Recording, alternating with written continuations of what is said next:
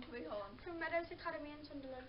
We are doing a report on the Northern Spire Bridge, which is due to open in April.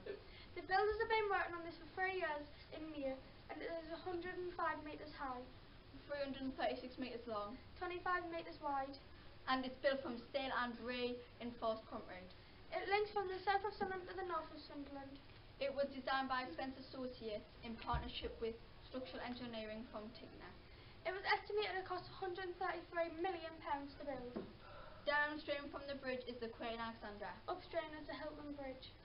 I am now joined by Corey, who will be giving her opinion of the Spire Bridge.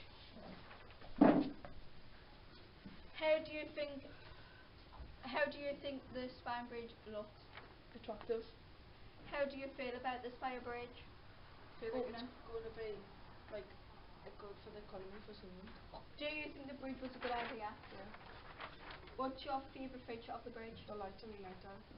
Will you use the bridge? Yeah. I will now pass you over to Corey so she can share a few facts. The Northern Spire Bridge is a new bridge that, that connects Sunderland North to Sunderland South. It is due to open April 2018. The new bridge will cross the river from the A1231 West Hilton Weaver Timber Beach Road down to Hylton Park Road. I will now pass you back to Jean. I am kindly honoured to introduce Sam who will also be answering some questions.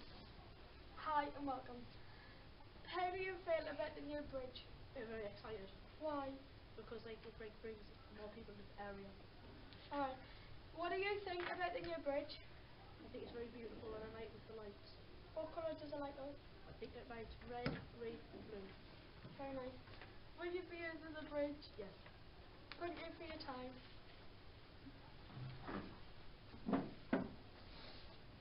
Stop it, stop it. From Aldershot Meadows Academy.